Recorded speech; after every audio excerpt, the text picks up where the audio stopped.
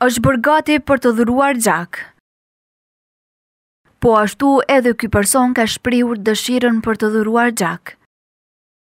Ky aktivitet është mbajtur sot në xhaminë e vjetër në Podujevë.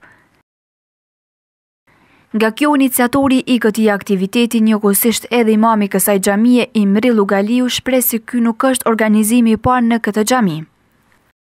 Dhe neve e kemi pas një farë rendi që një herë në vit kemi organizuar dhurimin e gjakut dhe zakonisht e kemi pas gjatë sezonit të verës, ndërsa tani kemi vendosur që t'i bëjmë dy herë në vit për shkak të numrit të madh të infektuarve me me Covid edhe e kemi vrejtë që edhe në konsultë me qendrën e transfuzionit të gjakut është nevoja shumë më e madhe për me pas doza të gjakut për fluksin e të smurëve që gjinden në spitalet tona.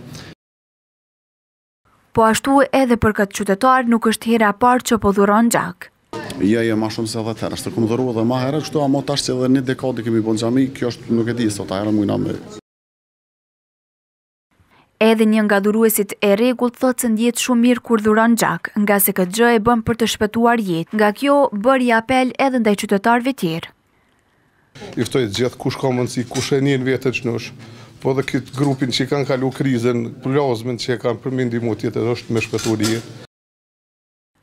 Po ashtu edhe menaxherja për promovimin e dhurimit vullnetar të gjakut Albana Gashi u shpreh se kjo punë nuk ka qenë e vështirë deri në kohën e pandemisë.